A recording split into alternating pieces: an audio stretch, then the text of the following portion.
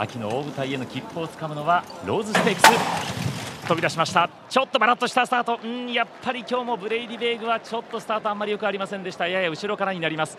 さあ先行争いはまず8番のユリーシャが前に行きまして先手を取りました。内の方からソーダズリングが2番手。外からはリサリサ。さらにその後ろにレミージュに離れた外にコンクシェルは今日は4番手から5番手あたり。その後ろからはラヴェルが続きます。唯一の重賞ホース。外を通ってはセーヌドレーブでその間にいるのがココナッツブラウンです。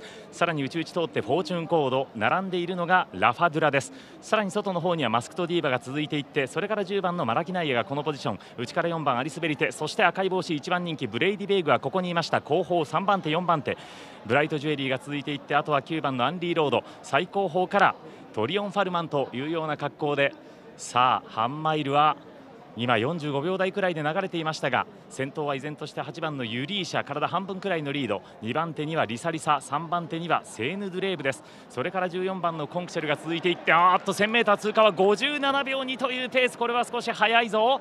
そして2番のソーダズリングがこのポジションにいます。さあ1番人気のブレイディベイグはまだ後方です。後方3番手4番手外目のポジションに出していこうというルメールですが果たして届くのか？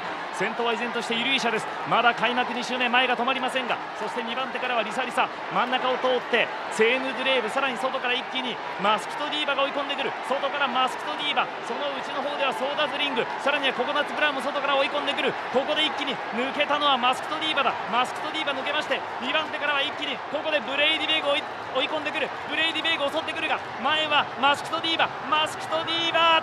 そして2着にブレイディヴェーグ。その後方からマラキナイアも追い込んで3着争いというところでしたが直線鋭く突き抜けたのはマスクトディーバでした。